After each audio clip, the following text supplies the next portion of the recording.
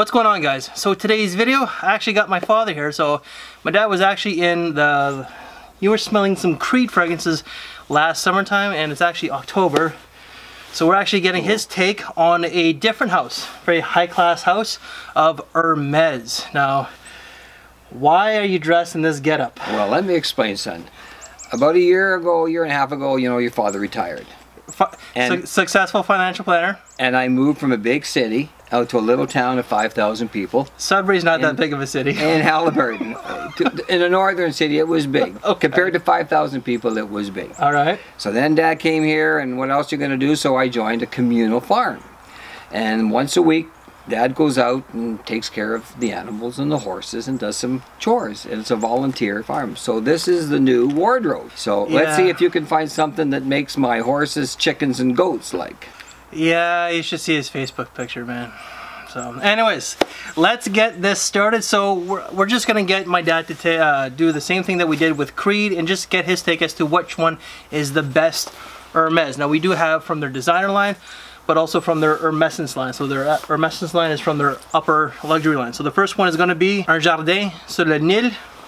So, these are all samples and decants that I got because I cannot afford an actual bottle. All right, so that's so And I'm retired. I can't afford this stuff.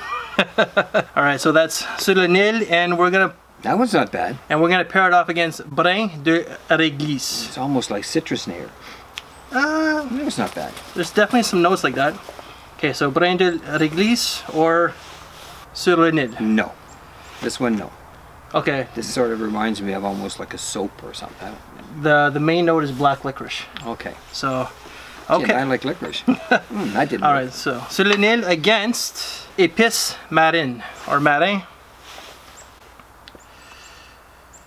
So, so Hermes is a French company. It's been around for a very long time. So Épice Marin, Marin, Jardin sur le Nil. That's not bad. Which one do you prefer though?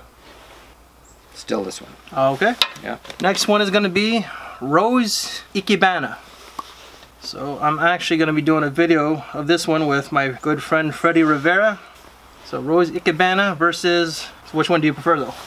Hmm, that's not bad either. Now they're both unique in their own sense. But Nope, which, still this one. so you, okay. It's close. Now this one actually has a rhubarb note to it.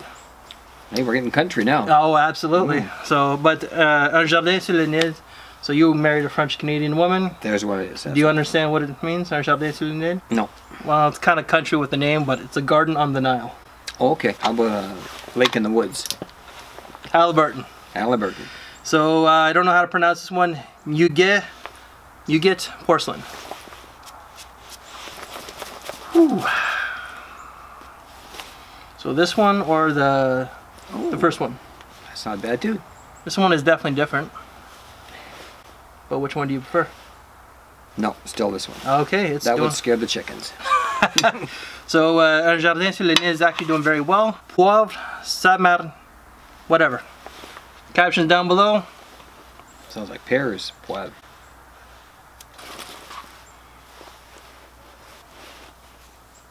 So which one? So poivre is a spice. Actually, this one's pretty nice. Let's take this one. Yeah. So this is actually pepper. Un Jardin sur le Nil was doing very well. Just lost out. Let's go with Ambre Narguilé. So Neela and I have been wearing this one quite a bit because we're hoping to do a video in Central Park next week. So which one do you prefer? Can we wear something in Central Park and also in the barn? I'm sure you can wear anything, Dad. Poivre. Actually, that's not bad at all. But which one do you prefer though? Hmm. Let me have a look at that one again. The other one. Oh, okay. Now they're both very different. Actually, I prefer this one though. This one here? Yeah. Okay, so this one is actually a unisex scent. Well, they're actually all unisex scents, but this one is definitely a lot more masculine. So Poivre gets booted out, and we're gonna pair it off against Cuir d'Ange. So leather, Oh, this ought to work. leather something. This ought to work. For a guy who was married to a French Canadian for 35 years, doesn't speak it very well. But neither do I anymore. Wow. Yeah, you can definitely smell that. So Cuir or uh, Ambre Narguilé. No, this one would get me into trouble in the barn. okay. Yeah. Ambre Narguilé goes on. So let's go with the samples now. So this one is Eau de Neroli Doré. So some people are gonna say it's like, oh, just say it in the English way because your French sucks. Granted, I've lost a lot of it. So the Neroli, No. no. So you prefer Ambre Mm. Seems strong, but no. Okay. No.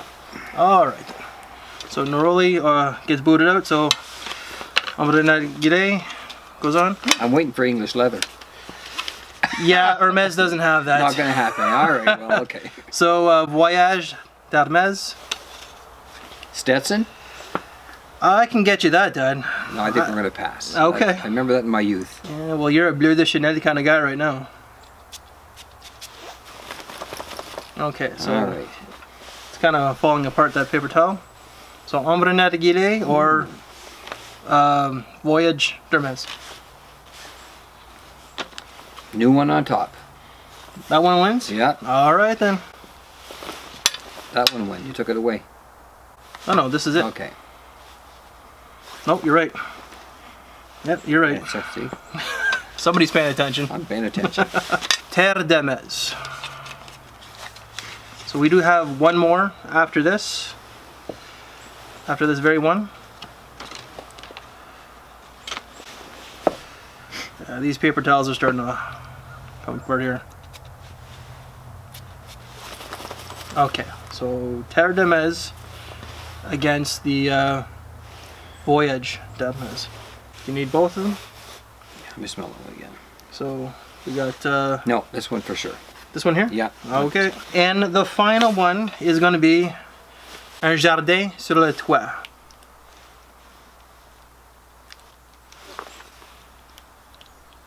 So we have to remove the top bit of the cap.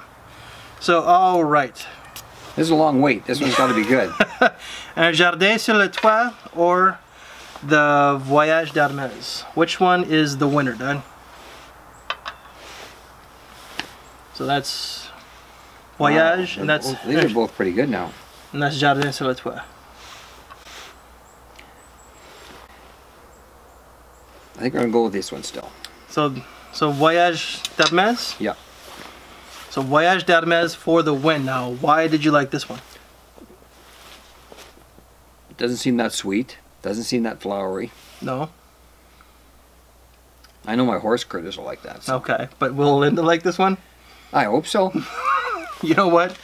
We'll give it a shot, and you'll uh, you can actually have this fragrance. Yeah, because okay? the last time you gave me one, Mhm. it was a winner. Linda liked it. So which was uh, a Tom Ford.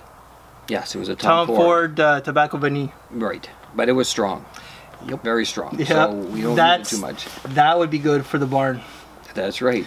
Yeah, and I just insulted a lot of people who actually love that fragrance. So, all right, guys. So the winner is Voyage d'Hermes from Dad. Thank you very much. It was fun, son. So thank you very much, guys. If you like this video, please give it a big thumbs up. Share the video. If you want to see my dad again, please let us know. The first video that we did with Creed went very well. Hopefully that you guys like this video as well. Thank you for your time. Take care, and we'll see you later.